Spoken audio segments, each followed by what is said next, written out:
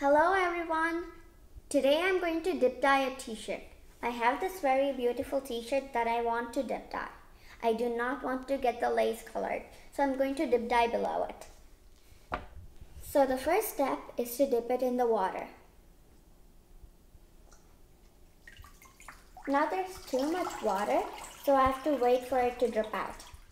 The water has dripped out, so it's the perfect time to dip. I'm going to clip these hangers onto both sides.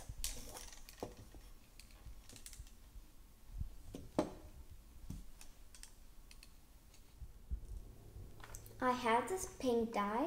I'm going to mix it into the water.